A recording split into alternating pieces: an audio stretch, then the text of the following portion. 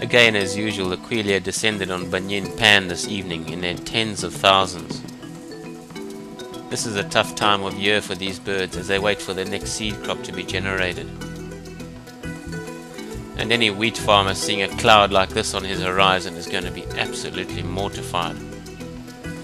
A swarm of Quelea like this could totally devastate any wheat farmer's crop. Not so much from eating all the wheat, but when they feed on the stems they break them and the plant doesn't grow anymore. To control Quelea when they reach plague proportions, they spray them when they're roosting in the reeds, killing millions of birds at a time.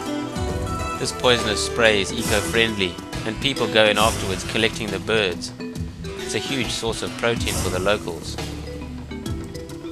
And even when nesting in their huge colonies, the locals will go in and collect the chicks out of the nest.